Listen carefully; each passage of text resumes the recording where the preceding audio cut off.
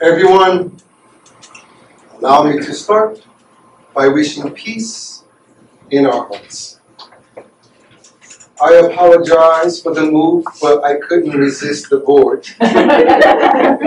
We should have asked. That way we can uh, visualize what we are trying to say. Second, congratulations for the movements. When I first came here in 2011, we were at a very small place that did not even belong to the group. And then from then on, you guys kept moving on, getting bigger and bigger. But we don't measure quality of service by quantity. We measure by people's happiness and feel the vibration of. So congratulations to all of you who put the effort in making this dream a possible reality. Whenever we are facing any challenges, whenever we are deep in problems, we usually take a stance. There's a way we like to see ourselves. There's a point of view in which we like to contemplate who we are. And that point of view is called the victim. We love being victims. And there's a specific reason that we like to enjoy being a victim. If I'm facing any problems or challenges, the only thing I have to do to be a victim is to have my working finger in a proper way, pointing to those I think are responsible for my pain. I am miserable because of my boss. I am unhappy because of my ex wife. I'm very sad because of my ex husband. They are the reason why I feel so miserable. Therefore, I look for outside sources for the cause of my pain. My ex husband, my ex wife, my stepfather, my stepmother. Someone is responsible for the pain I'm feeling. Therefore, I am miserable. Now, there is a big problem with this picture here. All victims are powerless. All victims are weak. And why? Number one lesson in Spiritism never believe what you read. And here, you're not supposed to accept anything that we say. You're supposed to ponder, rationalize for your own processing of thoughts. Don't believe what we say. Why are we weak when we become victims? Well, that's because where we find the source of our problems is also where we find the solution to our problems. For example, let's say our car breaks down and it's the alternator that's the cause of the problem. Now, if I keep changing the radio in my car, would that solve my problem?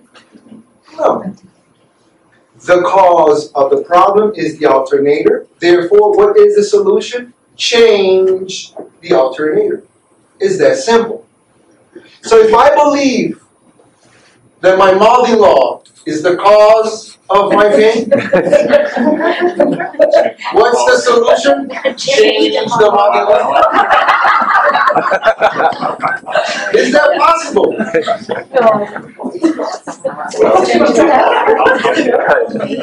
You might change the person, have a different mother-in-law, but eventually she might give you the same hex.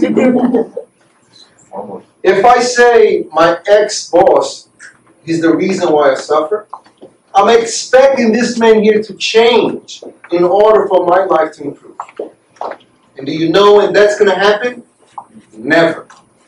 Because people won't change themselves to suit your needs. People will not change their characteristics, their personality to make our lives better. Therefore, as a victim, all I'm doing, I'm prolonging my pain. And since I am waiting for these unchangeable people to change,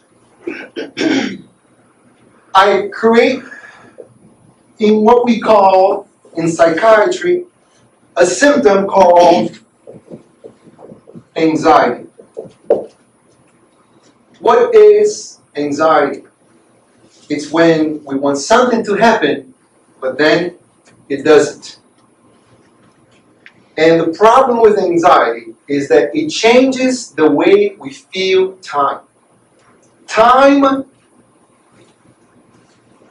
is directly related to our emotions.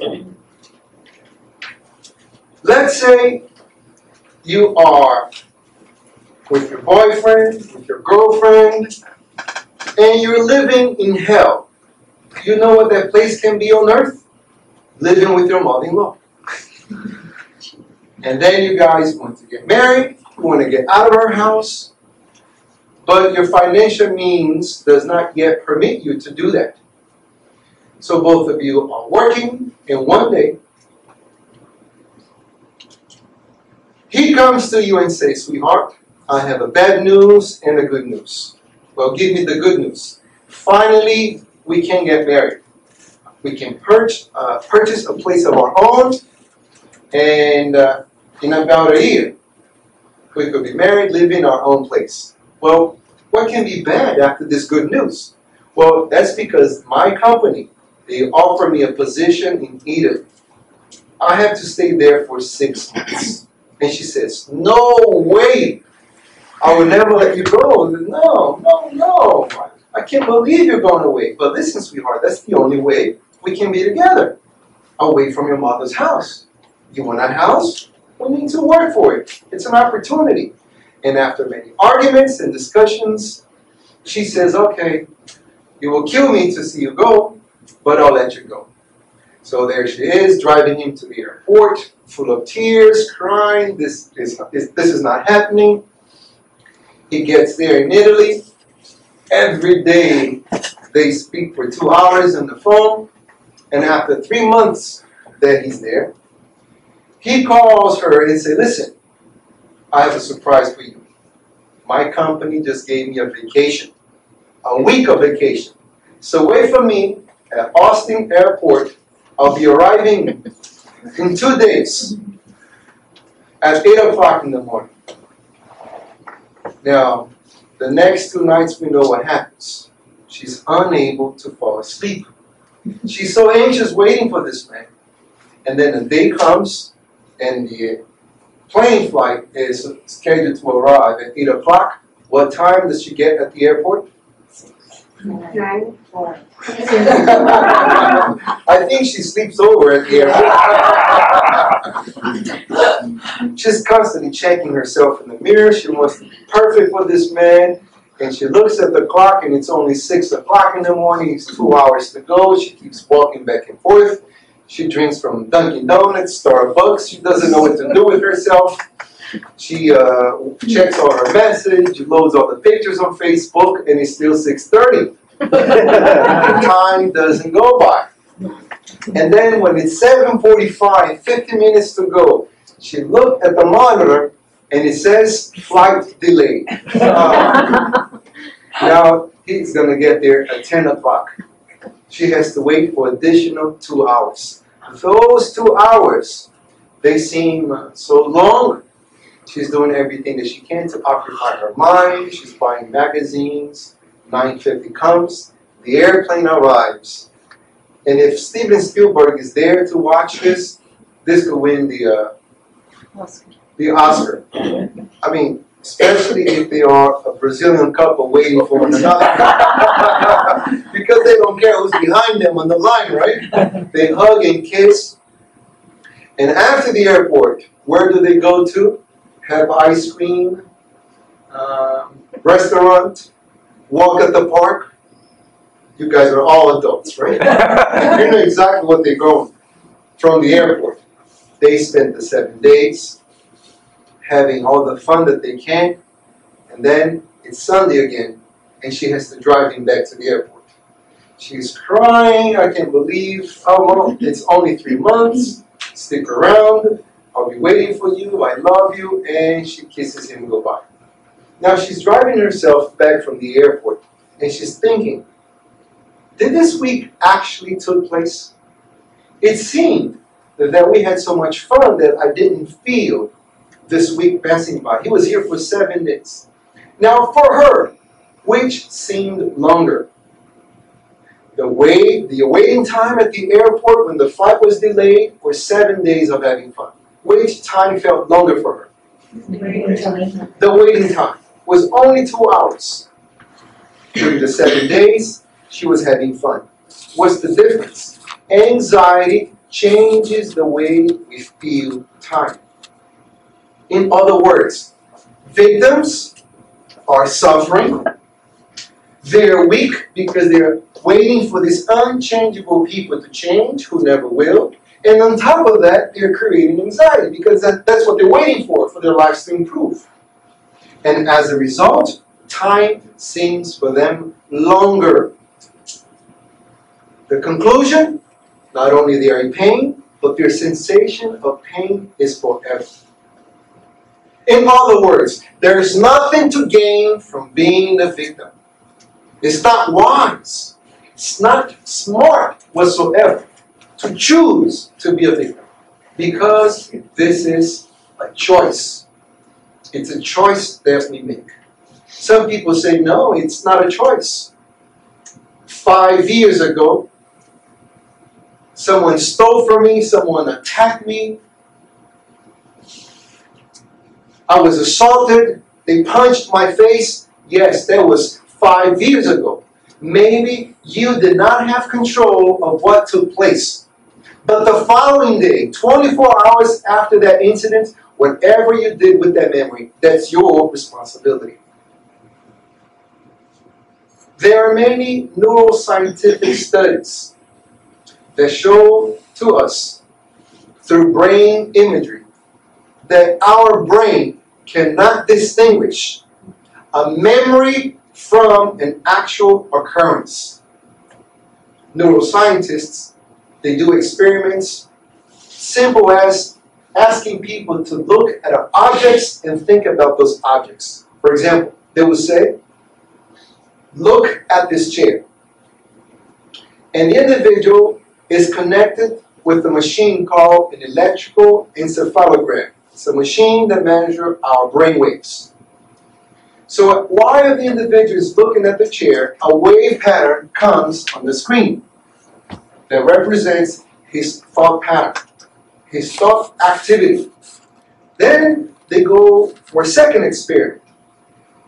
They remove the chair and they ask this individual, I want you to close your eyes and think about the chair. This is a different experiment. The object is not there. They're just simply looking, imagining the chair. Their eyes are closed. And the scientists, they predict that either the wave that will come, it's either smaller wave or a bigger wave. Now, which one you think will come on the monitor? The same. A bigger one, a smaller one, or the same? Who says smaller one? Raise your hand. you think would be small.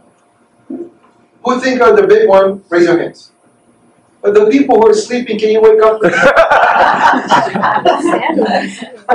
With two questions. The room is full. Do you think it's the same? Yes or no? Raise your hands. Small one. Small, Smaller one, bigger one. For the scientists, it's astounding to discover that it is the same one. Now, for them, this was mind boggling. This was incredible and has, for us, deep psychological effects, impacts on our personal lives. This is evidence that our brain cannot distinguish what it sees from what it's thinking. Hmm. What that means is that if five years ago September 19th, of 2010. If someone came to me and punched my face, and on September 20th of 2010, I thought about that punch, for my brain, it is the same as I got repunched again. If a month from the incident, incident, October 19th of 2010, if I think about that punch, it is the same as I got the punch again on my face. Three months goes by, and I'm thinking about this punch. I hate him! A whole year goes by, 19 of 2011, and I'm thinking about this punch. September 19th of 2012, and here I am, full of grudge hate, resentfulness. What is resentfulness? This is why I like the board.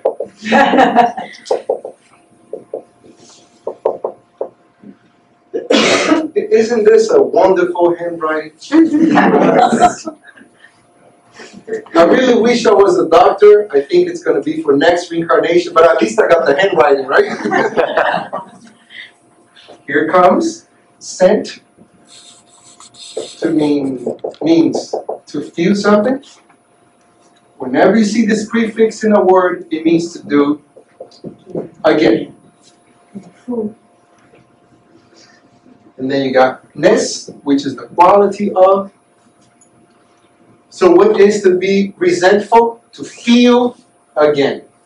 Someone who is resentfulness, resentful is feeling again whatever took place. So now we are in the year 2015. Five years went by. And here I am, full of grudges, full of hatred. How many times the individual have punched me?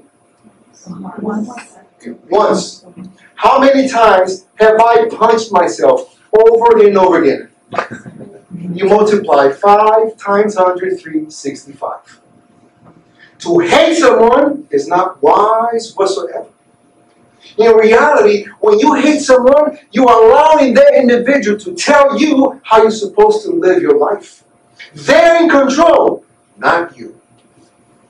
It's very unwise to remember negative things that other people have done to us. It's not smart. Because when they did it, we felt unpleasantfulness. We felt unhappy, miserable.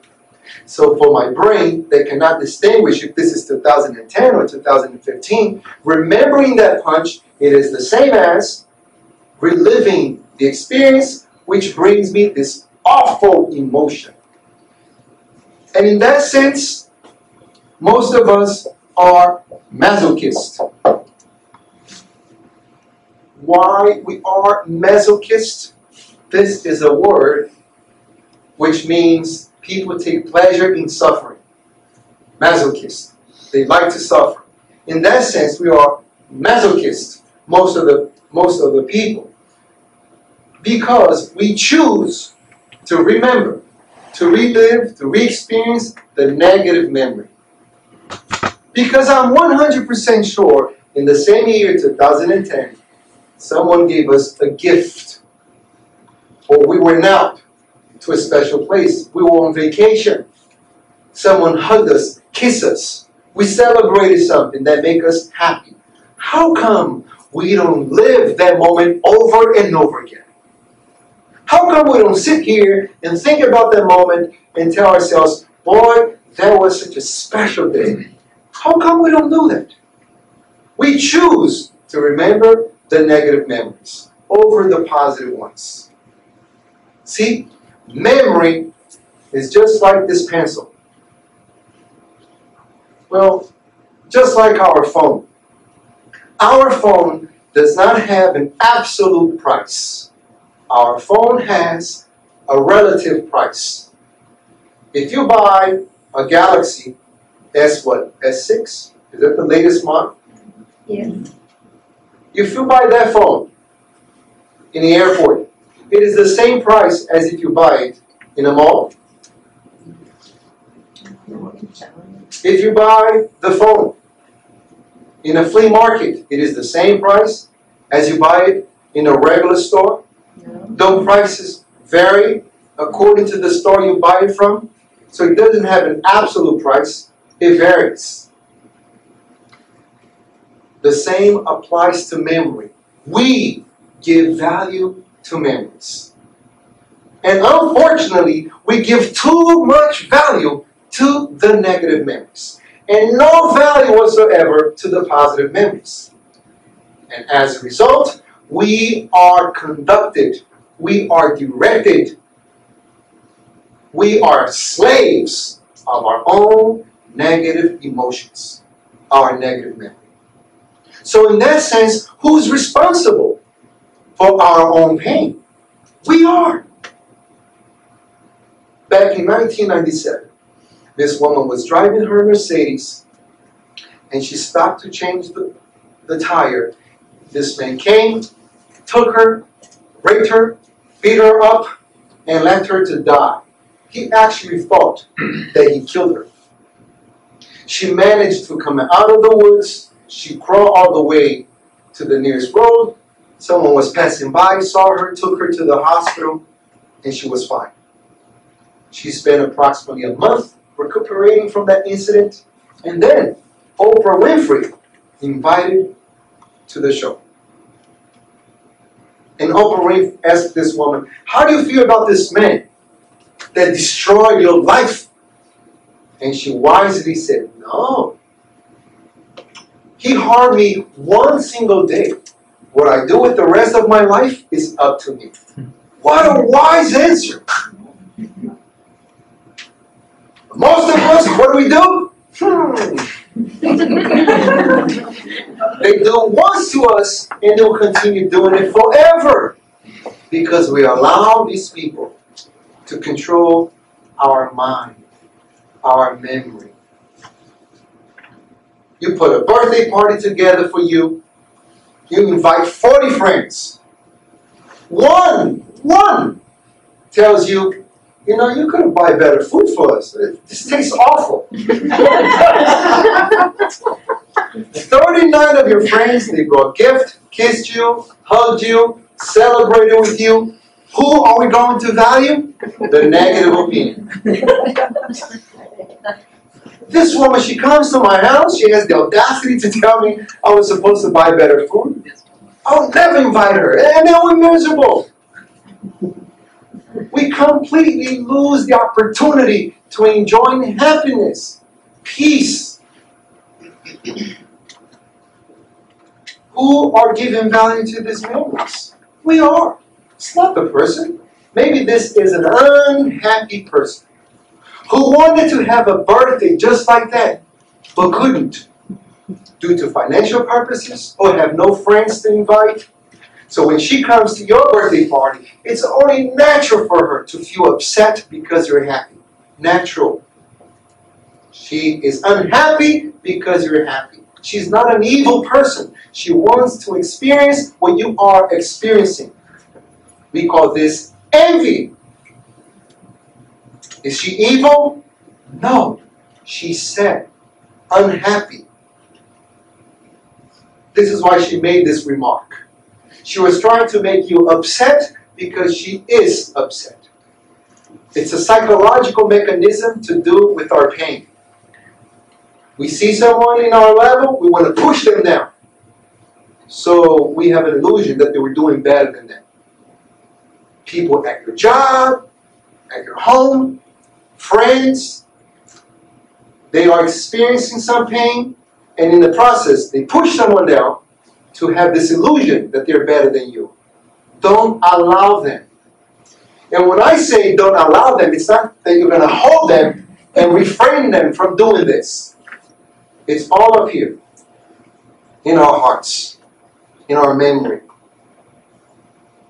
So, rule of thumb only unhappy people make other people unhappy. Happy people make other people happy. Simple as that. We are living in such advanced technological age for our standards, of course. 20 years from now, what we're doing from the technological point of view will seem childish. We like to consider ourselves super advanced because we manage to control our natural resources. but we still are little babies when it comes to relationship with one another.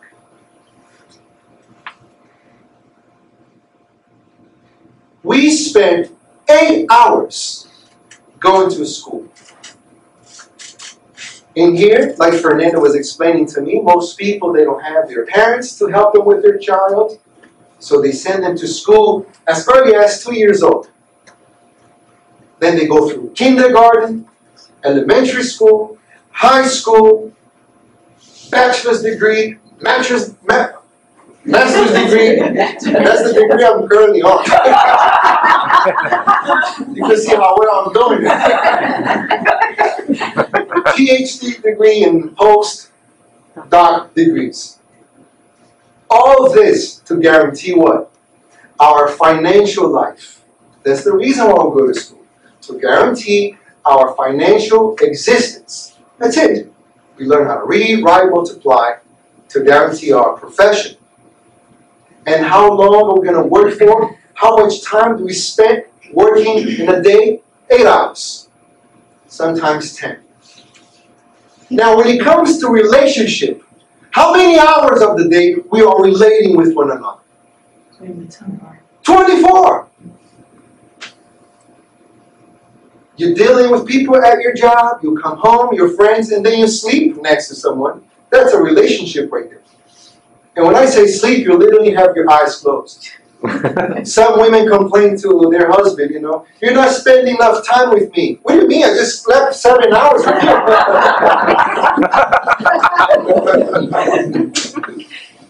I'm not talking about my wife here. we spend 24 hours of the day relating with other people, having relationships, friends, co-workers, family. Now, how many hours do we spend going to school learning relationships? Nothing. Zero. And everything that we do in life is about relationships. And it's amazing that we don't learn or teach relationships. We jump into them thinking that we know how to do this. We learn it from our parents. But what if our parents came from broken marriages themselves? We learn from our friends, co-workers. We think we learn. And as much as we like to think that we are super technological advanced, that we're modern, that we are sophisticated, we allow childish emotions to control our behavior. Am I saying something here completely out of context? You might see someone who's very smart, very accomplished, yet for the simple fact that someone did not open the door for him as he was entering the mall, that's it. He feels humiliated. How come he didn't let the door open for me? He could at least left it open. I have a friend of mine that he's a professor in a very distinguished university. And he tells me the fights that go on in the academic level. the fights that goes on over minimal things. If you get into the politics of science, you will know that it is an institution, just like a religious institution. Because there's a lot of time that it's not about the truth, but whoever is in power. Many scientific paperwork right now discrediting articles that have been published that were not true. The real data does not support the theory behind it. Because this was about who was publishing and how much they're getting paid for it. The most distinguished scientific journals are living this nightmare right now because of politics. But what is the drive behind these circumstances in the academic level? Vanity. What is vanity? Is when we think that we're better than other people.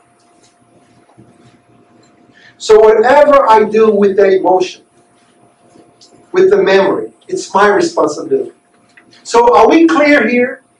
there is no way, shape, or possible we can be a victim? We are all responsible.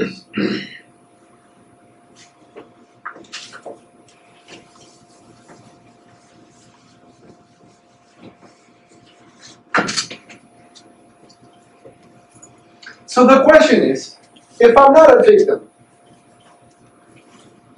what is the other choice? What is the alternative for me?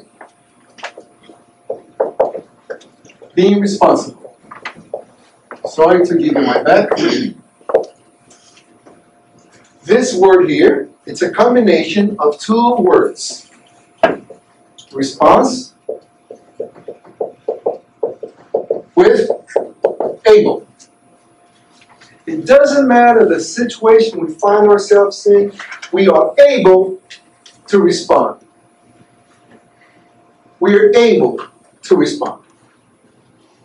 So, responsible people, instead of looking on the outside for the cause of their problem,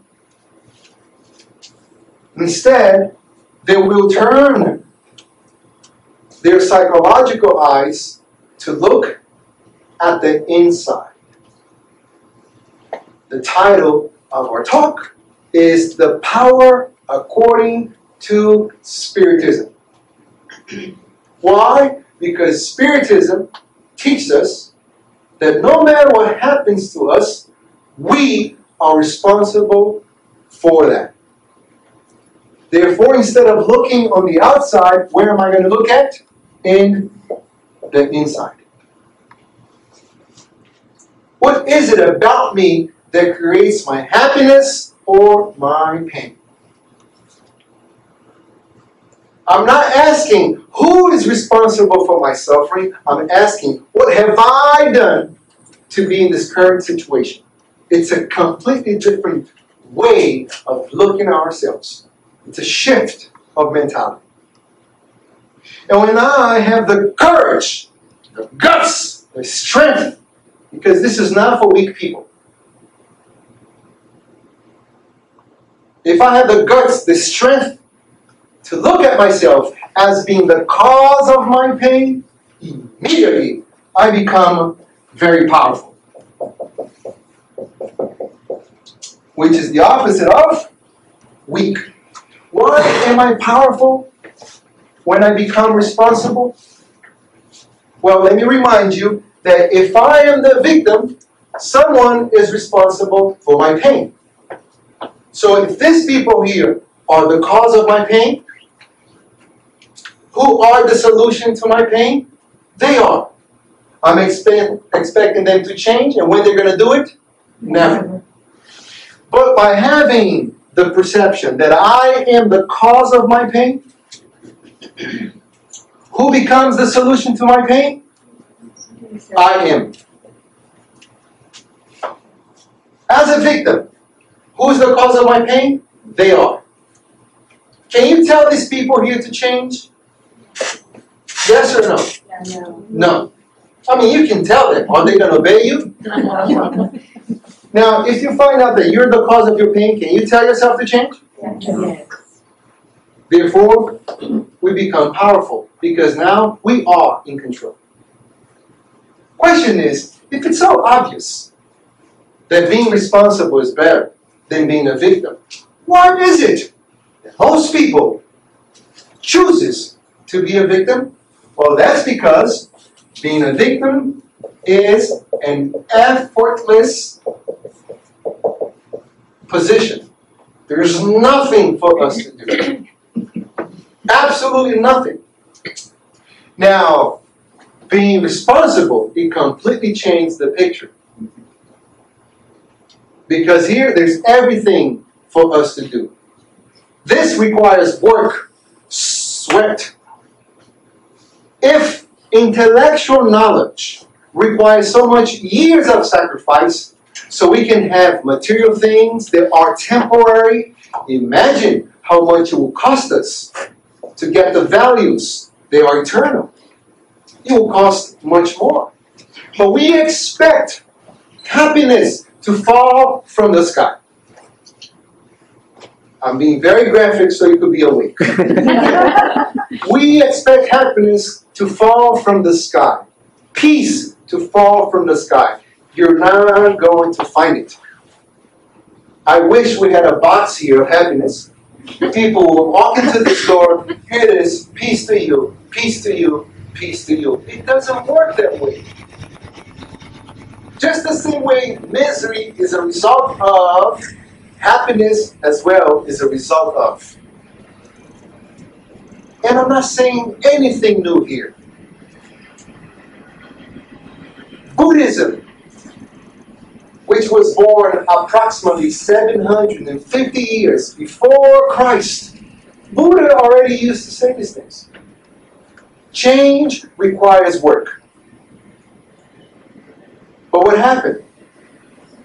Since it required works, Buddhist followers, seeing that this requires so much work, they changed and created rituals with Buddhism. So now they just sit there and meditate. Does that require any work? Christ he came, told us some difficult things to hear. Forgive your enemies. Do unto other as you wish others do unto you. That's hard to practice. So what do we do? We start lighting up candles, worshiping saints, throwing money at the statues. Is that easy to do? Very easy. No, no, today's Friday. I don't eat meat. we almost kill ourselves eating fish, but we don't eat meat because I'm following my religion to the T. Is that easy to do? Very easy to do. So we created rituals to substitute the real work. And if we're not very careful as spiritists, we could do the same thing. We come here, we want to get the pass, drink the water, and leave the same way we came through these doors. It must be hard work. Believe me, I wish I could sit here, raise my hands, and free your sins and leave at the cross. I wish out of love, because I love people. But it's not that easy. You have someone who worked his way up to be intellectually evolved and morally evolved. This individual who is in a different plane of evolution, we name him guardian angel. It doesn't mean, it doesn't, uh, it's not important how we label this individual. The important thing is that you know someone who's spiritually involved, intellectually, emotionally, is guiding you, inspiring you, protecting you. Don't you think this man or this woman would give you happiness if he could? He would. But it's not that simple. Because it's a result of our own effort, our own evolution. Work is the way that we develop our intellectuality. Work is a law of nature. Everything in nature works. That's the reason we have our material needs to develop our intellectuality. In our Neolithic age, when we're living in caves, we had to come out of the cave. We ate the food that was around, and we came back to the cave. Once we ate all the food, what we had to do? Move around, look for different sources of food, and find a different cave. So we were food hunters, place to place. We spent our entire existence moving from place to another place. And then, according to the experts, we found that one of the biggest scientific discoveries of all times agriculture. Now we're able to settle. But we had a problem here. We had we needed water. So we had to live near the rivers. And the biggest civilizations on the planet were born near the rivers. Egyptian civilization near the Nile River. The Chinese civilization near the Yangtze Yang. Bodies of water, we could do agriculture. But let's say we're a group of people and we're managed to plant rice. And it got to a point that we're so tired of rice that we want to plant something else we don't know, so we start traveling around and we find someone who now plants beans. So we say to them, you know, we have a surplus of rice. I see you have a surplus of beans. Let's exchange our products. It's a good idea. So you think you have a variation on your meal, and I have a variation on my meal. So exchange of values was born. but then it didn't rain for a while. The river got thinner, problems rose, and we had no rice. But we're still hungry. So we went to the people who had beans, we would like to exchange, but we don't have nothing to exchange with. What are we going to do? Well, give us something that is valuable to you so we go pass this value to someone else. And that's how money was born. And now that money was born, we could exchange values without even having the product. And from that, we were able to create houses, transport the goods from one place to the other. The transportation system was born. We met with different people. The exchange of languages was born. Buildings, roads, all result of work.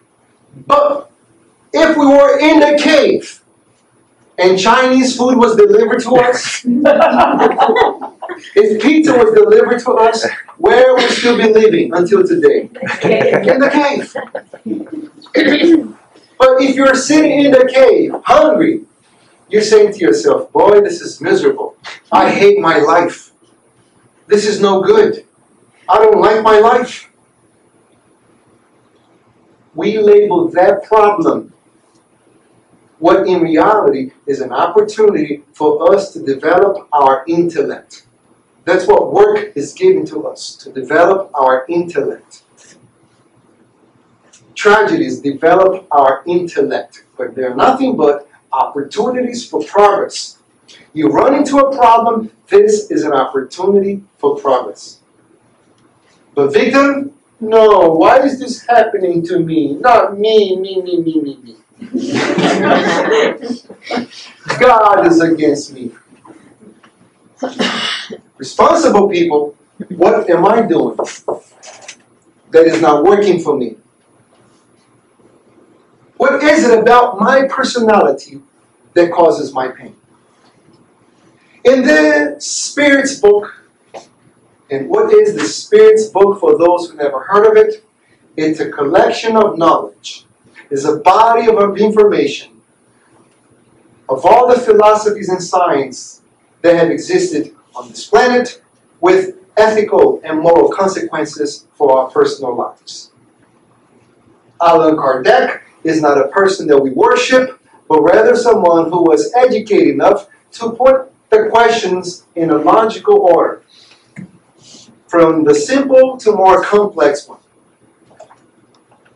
And in this question, in this book, the Spirit's book, he asked a very important question. Question. What's the question? No, no, 919. Question 919. He asked, What is the most efficient way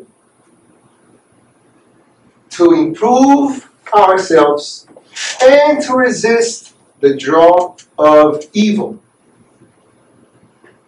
What is the most efficient way to improve ourselves and to resist the draw of evil? Allan Kardec was so wise, so smart, that from the question alone, there is so much that we can learn. Most people who are not versed in this knowledge, they quickly jump into the answer without comprehending what the question is asking. He's asking, on part A, what is the most efficient way to improve ourselves? What that implies is that there are many ways to improve ourselves. But Allan Kardec is not asking for any way to improve ourselves, but the most efficient way. Let's change the context and we might ask, what is the most efficient way of losing weight? I mean, there are many ways to lose weight, right? You could have uh, exercise, the carbo diet, the protein diet, and the moon diet. You guys heard about the moon diet? You eat everything except the moon. Different diets. Now, do you want to exercise or apply into your life any diet? No. You want the most efficient diet. What is the most efficient way to improve ourselves? There are many ways we can improve ourselves. As a matter of fact, there is this man who was 31 years old and he had been in jail all his 20s because he was addicted to heroin. He was in room 235 and one day he received a magazine and he was reading all these different articles and then he came to a magazine about marathon. And he read about marathon and the history, how it started in Greece.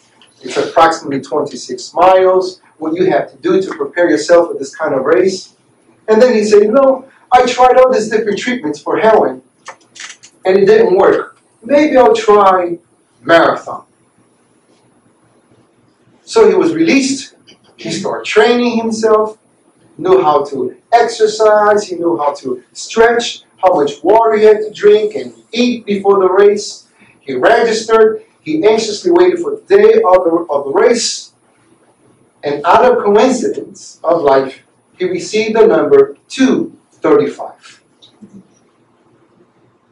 He ran the race and he completed.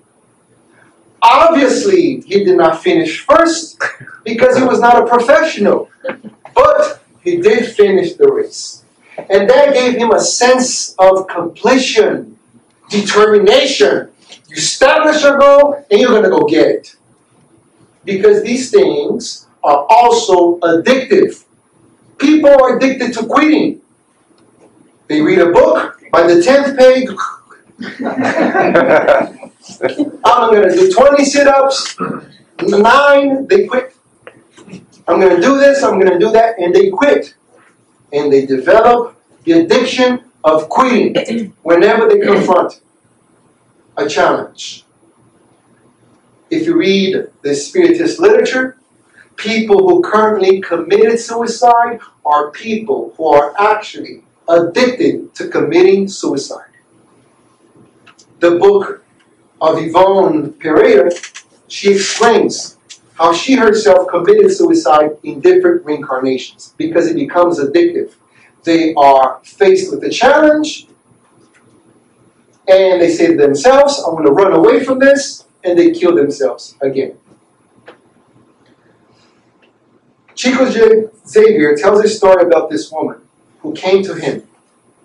The reason why this woman looked for Chico Xavier is because his son was born without both arms. And uh, when he became a, a boy, he was able to walk and run. His doctor diagnosed a disease. And the only solution to stop the progression of the disease was to amputate both legs. So this woman came desperately to Chico Xavier to ask her what was going on. How in this world, if God was good, can allow this thing to happen to her son? Emmanuel, Chico Xavier, guided Chico Xavier, protective angel, guardian angel, explained to Chico Xavier that this little boy was someone who committed suicide many times in his previous existence and he did not want to fail the current reincarnation. So this is why he was he asked to be born with without the arms, so he wouldn't hang himself, shoot himself. But then, once he started facing the challenge again, he was already contemplating the near river to jump in the river and drown. So the disease came to avoid him from running again.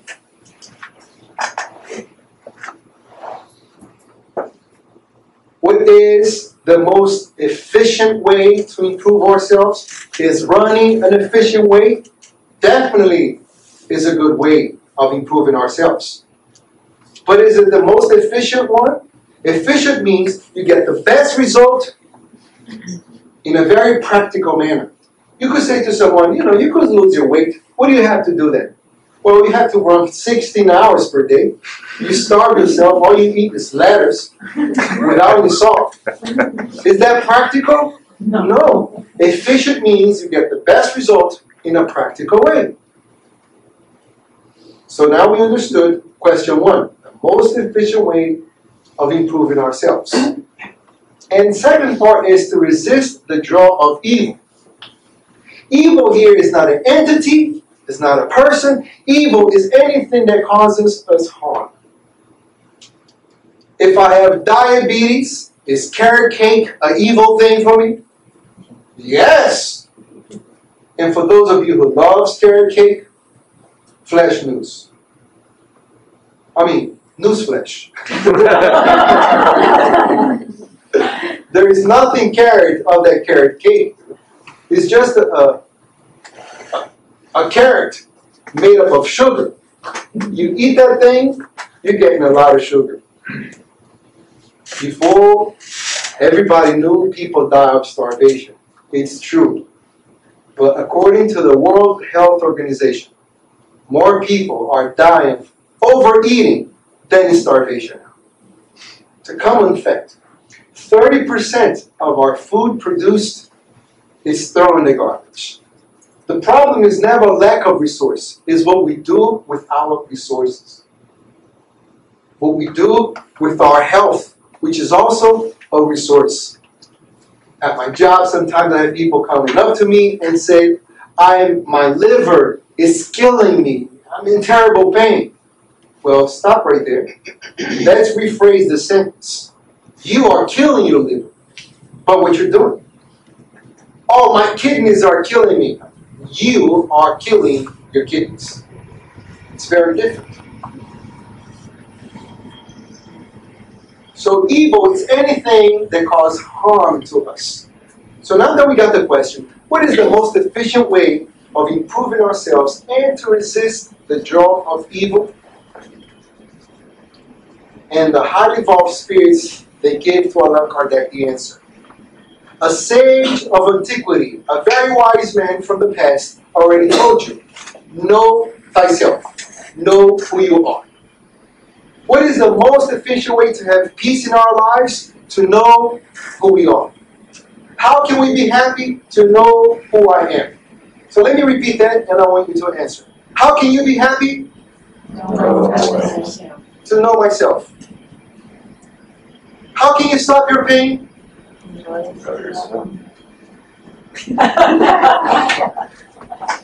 How can you stop your pain? How can you create your happiness? How can you bring peace into your life? Now, why is it the most efficient way of learning, the most efficient way of improving ourselves and to resist the draw of evil is to know who we are? Well, for the simple fact that how can we fix something that we don't know that it's broken? How? It's impossible. So I need to know who I am. And as simple as this seems, most of us ignore who we are. We might know other people, we might know our cousins, we might know our, our boss, our co-workers, but we completely ignore who we are. And why do we ignore who we are? Because if we truly find out who we are, that requires work. If I ignore who I am, then I don't have anything to do. This was given to us by Socrates. And what amazes me in the psychological field, you read all these different theories, and they say it after they discover something new about us. Sigmund Freud, for example, what did he say about us? He said that we are like an iceberg. Our psyche is like an iceberg. So I'm going to draw here what it could be a ship. I have to let you know what the drawing is mm-hmm. because if there's something I can't do in this lifetime, it's to draw. so Sigmund Freud say that we are like an iceberg. An iceberg is a mountain in the ocean. What you see of the iceberg is just the top of it. If this was a real boat hitting the only this part here, the Titanic would never sink. You would simply push the mountain. But what we fail to see is what under the mountain. under the ocean. The entire mountain of the iceberg, it's at the bottom. What we see is just the tip of the iceberg. Hence the expression, tip of the iceberg. Now, Sigmund Freud said that this part here is what we call our consciousness. I know the handwriting must be ugly, but the spelling must be correct. So, what we don't see about us is what he called the unconsciousness. What we see, what we know about who we are, he called consciousness, our awareness. Right now, you're aware that you're listening to my voice. You're aware that the fan is on. You're aware about the light. You're aware that you are in a lecture. That's what you are aware of. Now, then we have our unconsciousness, what we're not aware of. And as you can see by the picture, this clearly gives the entire strength, this shape, who you are. What you don't know about you is what actually controls you. Isn't that incredible? Mm-hmm. What you don't know about you, this what controls you. That's in Freud's wording. What we read right from the Spirit's book. Know yourself. That comes from Socrates 450 years before Christ. Know who you are. So if I know this, then I'm able to control this. And then Sigmund Freud, he added something else. He said the ocean is the ego. Then what is the ego? Ego function. The ego function is to lie to us. Whenever we have an information that comes from the unconsciousness to the consciousness, it goes through the ego, and the ego changes the information so our consciousness can listen to that information. That's the theoretical part of it. Let me give you a practical situation. Let's say this couple, they are invited to a party. And once they get into the party, the man goes out and he starts greeting all the women. He hugs the women, he kisses the women, he says hello to all of them, and suddenly he looks at his wife and she got this mean look. And you know how women can talk with their eyes? As a matter of fact, they can give you a whole seminar just in a look. Three days of book. It's in a whole, in a just look. So you already know you're in trouble. So you- you're done greeting the women. You go into the car, you sit in your car, and she enters the car. By the sound of the door jam, you know the intensity of the fight. because before we hit people, we start hitting objects. That's how we do it. So she slams the door, and then you tell, and you ask her, "What's the problem, honey? What's the problem? Why do you have to flirt with all the women like this? You know, you're too much. Now all they're talking about you. Now you're terrible. I don't want to be with you." And out of this fight, someone told me all women are good historians because when they start fighting, they say to the guy, you know. 25 years ago, you remember we were going to a same party and exactly the same thing happens. Oh my God, how can you remember something that happened so long ago? And the man, he doesn't feel, he thinks. He's very logical. So he says, Well, if I greet women, fight. Therefore, don't greet, no fight. Next party, they are invited. And as soon he enters the house, he stands like a mummy by the corner. he doesn't even look at anyone. Women start approaching him to give him a handshake, and he goes like this, to hide himself because he wants to avoid another fight. Party's over, he's happy, he completed his mission. He's quiet, like a mummy, enters the car, and here again, the door slams. Stop! what happened now? I don't get it. And she says, Why do you have to be so quiet? What do you want from me? I don't get it. Everybody now is thinking, that you are an FBI agent, a CIA agent. Because they're looking at you and said, wow, what a mysterious man. The more mysterious, the more good looking they are, the more special they are. They're all thinking about you. He says, What do you want me to do? You want me to go there and jump like a clown? I don't know what to do. If I talk, there's a fight. If I don't talk, there's a fight. You gotta get yourself a therapist. Now that spoke about the women, let's get to the men. It's not fair for the women, right? Men are very controlling as well. So this guy, he waits for his wife, and every day she's supposed to get home at six o'clock. One day she's caught up in traffic, she gets home at 6:40. Now, during those 40 minutes, he is literally in hell. Because hell is not a geographical place. Hell is a mental state of mind. Just like heaven. During those 40 minutes, she's supposed to get there at 6 o'clock. 6.05, he remembers the company party that she was at. He went there, and she and he saw his wife talking too much with this coworker. Now he looks at that memory. Maybe something is going on between these two, you know? She's getting home too late today. 610, he's already imagined both of them kissing. 615, and at this moment that we have spiritual obsessors augmenting, increasing, intensifying whatever garbage we're thinking. Who are spiritual obsessors? For those who are here for the first time, these are enemies who we have created in our past because of our selfishness that wants to cause us harm. So they become these enemies and they are on the spiritual plane. And since they have all the time in the world to study us, they are constantly watching for our weaknesses. So at this moment, what is he going to do? He's going to use the images that are stored in this man's mind to exacerbate the problem. So now, this man is imagining his wife having sex with his boss, with her boss.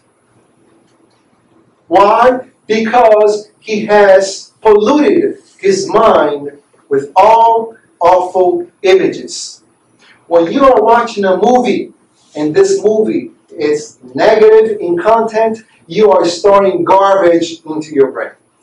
If you're watching a magazine and this is negative in content, you are storing negative garbage in your brain. So when there are moments of trial like this one, all of that garbage will come out of your brain. As the subconsciousness go into the consciousness. And the spiritual obsessor we use that image, but instead of you seeing the actors, you're going to see wife with her boss. And now he's picturing that this woman is having sex with her boss, and it's 6:40. Once he parks, once she parks the car and she enters in the home, he explodes on this woman. Where were you? I knew something was going on. And she says, What is going on? I don't get it. I was just stuck in traffic. You are going out with your boss. Tell me the truth right now. And they have this humongous fight. On the following day, she's so scared of getting home and having another fight that she rushes through traffic. She almost kills bikers and uh, have car crashes. and she gets home 5.30. Supposed to get 6, but she gets there at 5.30. You know what this sick man thinks now? She never went to work to begin with. she spent the whole day in a motel with the other guy. And from the motel straight home. And another humongous fight. On the following day, she doesn't know what to do. She gets late. It's a fight. Early. It's a fight. So it's 6, 5.55 and she just waits nearby. So she can get home exactly at 6 o'clock. And when she enters, here go again. You're just trying to make up for the two other days. There's never a way out. Now, if these people seek a psychotherapist, or if a friend try to help them out, the friend will say, listen, what you're telling me, I think that you are a very jealous individual. That's what you are. You're very jealous. And now the information comes from the subconsciousness to the consciousness, from the unawareness to the awareness. But before this information of jealousy goes to the consciousness, it passes through the ego. And the ego says, no, no, no, no. I'm not jealous. I am protective. if I don't protect her, who will? now, does protective sound like a positive quality? Yes. Yes? Yes. Does jealousy sound like a negative imperfection? Yes. So, ego has the job to sugarcoat the imperfection. Because I could deal with myself being protective, I cannot deal with myself with being jealous. So, the hardest thing for us to do is to know who we are. That's question 919. That question only, the book is composed of 1,019 questions. Only one question can change our entire lives. Only one question. But it takes courage. It takes a constant self analysis to know who I am. How much time do we have? Five minutes? No. No, we have more time. Five minutes. Five minutes? Okay, I'll speak for another 30 minutes. There are many characteristics to our behavior. Many characteristics. Jealousy, envy, vanity, pride, resentfulness, laziness. These are all different imperfections that actually control who we are. And since we don't have more time, I'll just mention one of them laziness. Laziness is a source of our pain. Now, some people might argue, I'm not lazy whatsoever. I work seven days a week. Actually, I do 16 hours per day. I'm constantly on the move. I'm not lazy. Well, there are different kinds of laziness. Newsflash again. For flash news. different kinds of laziness. Physical laziness, we just want to stay in bed. We want to sleep for 12 hours because the doctor said so. It's physical laziness. And everything in the universe is in movement. What you see that looks that it's static is a poor perception of our ability to see. Atoms, molecules are constantly moving. Everything is movement. To stay idle, but then if someone moves, then there is intellectual laziness. Intellectual laziness is when people they don't want to learn. They don't want to learn anything. There are some people who are so resisting in learning anything new. My mother used to be one of those kind of people. I'm glad that she's not. But one day I, she has a very busy schedule. She has to attend to different places, and she has about 10 people working for her. And she used to do everything on a notebook. And I used to say, Mother, please, let me teach you this. Ah, I don't want it. Come on, now, listen. This is what the computer is for. Your job here is something completely different. The computer can do this. I don't want it. I don't even. I don't want to even learn how to push the power button. This is no good for me. And for many years, she resisted learning. Some people they resist learning. I will never earn, learn English. I'll never learn Portuguese. I'll never. When we say those things to ourselves, we are telling our brain what is capable of doing. And one day I get there, it's 11.30 at night. She's crying. There are pieces of paper all over the floor because she was trying to put the schedule together and she couldn't. And then she finally gave up and says, okay, I'll learn this stupid thing called computer. so I had to teach her literally how to press the power button. but today she's excellent at it. She's very good. She's able to manage the Excel sheet. It's brilliant to see her. But what the experience gave to my mother was the open mindedness that I need to learn everything that is new. That's the breakthrough right there. It's not just learning computer. It's opening my mind that I need to learn anything new. That was the biggest breakthrough. And some people they just resist learning. That is intellectual thing, intellectual laziness at the Spirit Center. There are many uh, institutions, and clearly this is not one of them, in which people, as soon as you start talking and having the lecture, they uh, lay their hands on their boyfriend and their spouses, or the spouses lay his head on the wife, and they go to sleep. And this white thing comes out of their mouth. they have the audacity that they're donating ectoplasma for the meeting. At the end of the lecture, you, you ask them, you know, you like the lecture? Yes, I did. What part? Well, everything. I liked everything. because they fall asleep here. Intellectual laziness.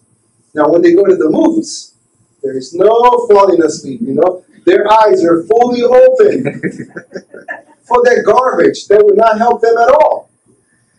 The Brazilians here, you know, the novelas. There is no desdobramento for the novelas. People are constantly watching them. Intellectual laziness. And we only make mistakes because we fail to learn. The romances, these books. This one, for example. What is this book? These are people who failed during their earthly experience. And they're coming back to tell us, not to entertain us. This is not pastime. This is not movie. This is information saying, listen, I fell in that hole. Do not do the same thing. I'm telling you where the hole is at. Just read it. That's it. I get this. the information is right there, readily available. You read it, if I do this, look what's going to happen to me. That's the beauty about life. We don't have to learn what someone else learned through their experience. I don't I don't have to fall into a hole to know the pain of failing there. I could watch someone who has a broken arm. Tell me what happened. Well, I was walking and I didn't pay attention. I was texting, and then I fell into this hole. Should I fell in the same hole? No. The individual just passed me the information. The hole is at the street in the left corner, about 100 meters, 200 feet. Watch it. That's what life is all about. Learning from other people's mistakes so we don't have to go through their pain to get their knowledge. Isn't that wonderful? I know here in this physical plane, we need licenses for everything. Licenses, licenses. You're not hired if you don't have some sort of a license. But in life, when you disincarnate, we're not taking our diplomas, license, or title with us. We are taking the information, the experience, and especially our actions. But if we don't have physical laziness, because we work, we move, and we learn, we read a lot. That means we don't have intellectual laziness. There's a third kind of laziness. It's called moral laziness. Listen, out of all those things I told you, I'm just elaborating in one of them, and I'm cutting time here. Moral laziness. What is moral laziness? It's when we know, yet we don't apply it. We already know what to do, yet we don't apply it at my job, we had this doctor who was a nephrologist. You know what a nephrologist is? An expert in kidneys. But this man, please do not post this on YouTube. This man was addicted to what? Chinese food. If you want to die early, you eat that. Oof. That thing has so much salt.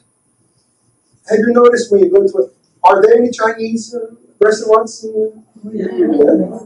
You get there, you're hungry, and you say, let me have a chicken fried rice.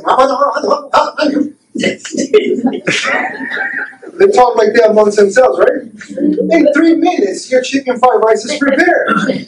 Right? How could be? Well, that's because that thing was previously cooked. It's stored in the refrigerator. And to, and to maintain it that way so it won't go stale, they add what? A lot of salt. Because salt conserves food. When we didn't have refrigerators, we salted everything. So salt has the power to conserve things. Now we can understand Jesus saying, You are the salt of the earth.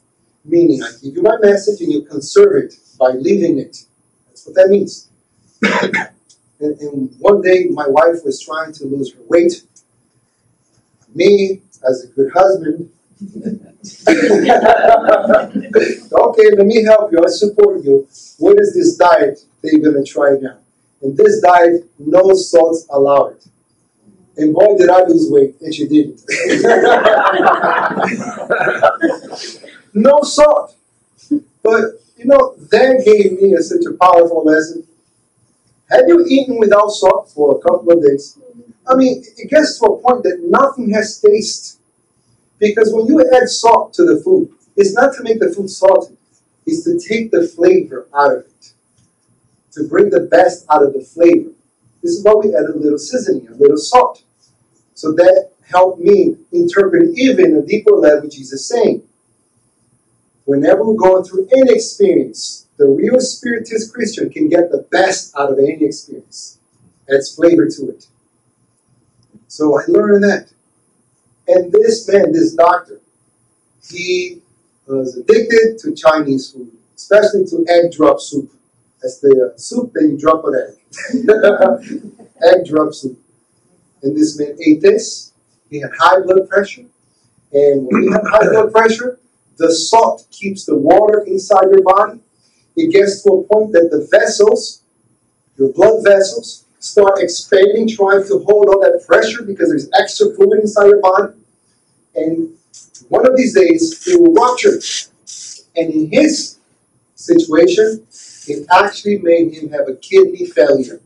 Now, this is a nephrologist kidney failure. What is the function of the kidney? The function of the kidney is to clean our blood for us. So now he had to go for hemodialysis, cleaning of his blood.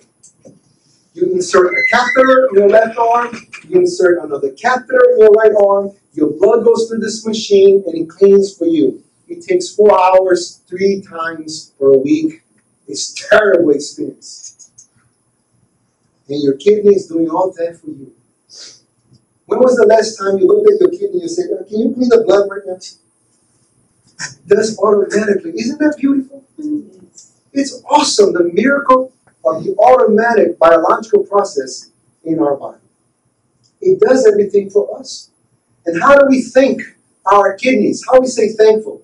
Just a little bit of wine, just a little bit of vodka, just a little bit of tequila. I'm poisoning the poor individuals here who are just trying to do their job, which is to clean the blood from. This man poisoned his liver, his kidneys. And one day, his veins were so clogged that they inserted one catheter in the left arm and inserted another catheter on his neck. Can you imagine this big hole in his neck? So I walk into the room where he was sitting at, and I see this man having high blood pressure with this big band aid on his neck, eating what? Well, he changed. Cheez It. You know that commercial with the, the kids ask, where does the cheese come from? Where, how they, Cheez It is this thing that's made up of salt. It's a lot of salt. So he was eating this stuff. I'm gonna get sued by these companies. he was eating this stuff, and I couldn't resist. I said, Dr. People, how in the world can you eat this thing? You're so sick. And he said, just a little bit is not a problem. he was eating Cheez It, doing hemodialysis, and taking high blood pressure medication. Is taking high blood pressure medication the solution? No. What's the solution? Change the diet. That calls for a lot of work. Do we want to do the work? No. We want to pop a pill and solve the problem. And as a result, he had a stroke. What is a stroke? It's when one of your blood vessels in your brain explodes or get clogged. In his condition, it exploded. Blood flows start going to specific part of the brain. We don't have the time for the intellectual explanation. And the part of the brain that controls body movements on his right part of the body died. And as a result, now he's leaking like this. Can't work. Cannot travel with his wife. Both kids are now in college. He cannot enjoy life. Was this a lazy man? Physical laziness? No way. He did all these years of school. This is why he was a doctor.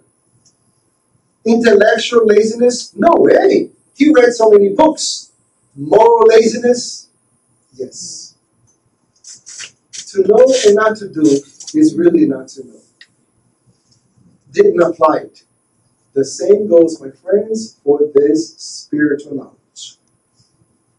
And I'm 100% sure that my friend Dr. Pico is sitting at home right now with his body all twisted, thinking to himself, how in the world I could have done this to myself, knowing all this information about kidneys and hypertension. I prescribe medication. I oriented people, and I did this to myself. What that means, the more knowledge we have, the more responsible we become. If we know what we have to do in life, because we're so enlightened, because we come to the Spiritist Center of Austin, Texas, and we learn every week, yet we don't apply it, we're going to create the pain to ourselves. And this is just one aspect of our personality. I hope that we all, during our prayers, connecting with God, that's what a prayer is. Not a bunch of words, it's just a connection with God. We ask God, give me courage, give me strength, give me wisdom for me to overcome my imperfections. Give me the perception I need to study who I am so I know what is it about me that creates my own pain. And by doing this, constant self-analysis, we are definitely achieving the purpose of our existence, which is our spiritual evolution. To always move forward, always progress, intellectually and morally. And creating this constant effort, always remember those who are in need. Because when you help other people, you diminish your own pain. So, to finish our lecture, there was this American author who wrote an entire book just to mention one single sentence. And if you are able to remember the sentence, we conclude that our lecture was efficient. She says, when she was nine years old, she used to live in, the, in this big house with a huge living room with opposite windows facing one another. So one day she's asleep and she hears both of her brothers crying. She goes downstairs and she notices that the sound is coming from the left window. She approaches the window, raises her feet, and she sees both of her brothers crying. She started crying too. Grandfather came to her and said, Elizabeth, what's going on? And she said, Grandpa, I am so sad. Why are you sad, sweetheart? And she said, I used to hate the little dog. The car ran over the little chihuahua.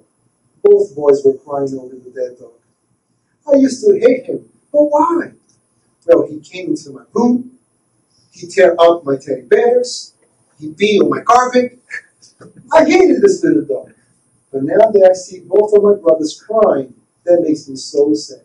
And she wept. The grandfather said to her, Elizabeth, I want to show you something. He gently grabbed her by the shoulder and took her to the opposite window. And he said, Do you see anything different in the garden? She raises her feet again and she sees the garden. Grandpa, aren't those the roses we planted? Yes, we are. Let's look at them. So they go out, they're walking around the garden, and she's contemplating the red roses, pink roses, white roses. And suddenly she started laughing again. The grandfather noticed that she was happy and brought her back to the house again. And he placed her in the middle of the two windows. And he said, Elizabeth, I want you to live your life by this sentence. In life, whenever you are situated in the window of sadness, don't forget, there is a window of happiness awaiting for you. Whenever you are at the window of happiness, please remember to help those who are situated in the window of sadness. And by doing that, peace will be yours. Thank you so much for your attention.